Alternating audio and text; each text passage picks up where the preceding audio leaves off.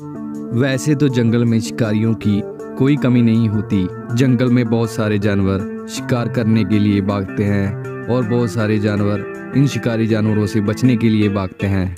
लेकिन जंगल में सिर्फ़ उन्हीं शिकारी जानवरों की बात होती है जो काफ़ी बड़े और ताकतवर होते हैं।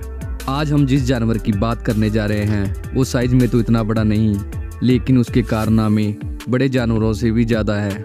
हनी बैजर को जंगल का सबसे फियरलेस एनिमल माना जाता है। समय आने पर ये बड़े जानवरों से भी दो दो हाथ कर लेते हैं। आज हम आपको इस वीडियो में इस जानवर के ऐसे कारनामे दिखाएँगे, जो आपको हैरान कर देंगे।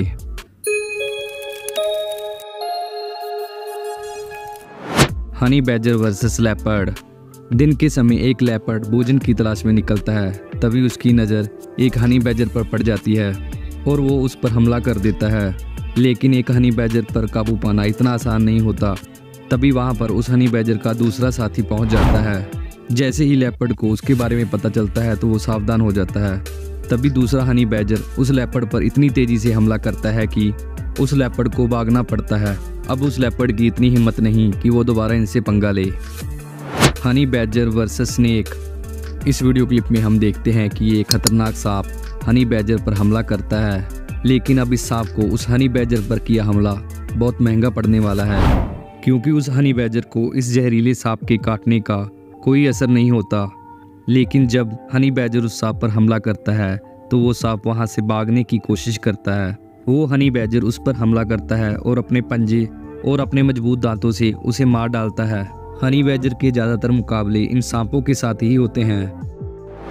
हनी बैजर वर्सेस वोल्व्स इस वीडियो क्लिप में हम देखते हैं कि 10-12 वोल्व्स, एक हनी बैजर को पकड़कर उसको मारने की कोशिश करते हैं। इतनी ज़्यादा संख्या होने के बावजूद भी वो बेड़ी उस हनी बैजर को नहीं मार पाते। वो हनी बैजर उन वोल्व्स के हमलों का सामना करने के लिए उन पर पलटवार करता है। ऐसा करने पर वो उनके घेरे से निकल जाता है। अब ये वुल्फ उसको पकड़ने की दोबारा हिम्मत नहीं करेंगे। हनी बैजर वर्सेस स्कॉर्पियन, एक हनी बैजर भोजन की तलाश में निकलता है। भूखा होने के कारण उसकी हालत ऐसी है कि उसके सामने जो भी आ जाए, वो उसी को खा लेगा। तभी उसकी नज़र एक बिच्छू पर पड़ती है और हनी बैजर उसको पकड़ने के लिए उस पर हमला करता है। लेकिन जवाब में वो बिच्छू भी उस पर डक मारता है। लेकिन सांप की तरह इस बिच्छू के हमले का भी इस हनी बैजर पर कोई असर नहीं होता और वो उसको मार डालता है।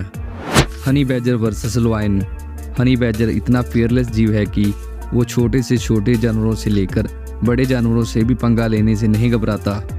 जैसा कि इस वीडियो क्लिप में हम देख रहे हैं कि एक शेर हनी बैजर पर हमला करने की कोशिश करता है, लेकिन हनी बैजर वापस उस पर पलटवार करता है। हनी बैजर के इस तरह हमला करने के कारण वो शेर भी पीछे हटने लगता है, क्योंकि इसकी मोटी चमड़ी होने के कारण इस पर बड़े जानवरों के हमले का भी कोई असर नहीं होता। इसलिए ये शेरों से मुकाबला होने पर भी नहीं घबराता और उनका डटकर मुकाबला करता है। तो दोस्तों, उम्मीद करते हैं कि आपको हमारा ये वीडियो अच्छा लगा होगा। अगर आपको हमारा ये वीडियो अच्छा लगा हो तो कृपया हमारे चैनल को सब्सक्राइब ज़रूर करें।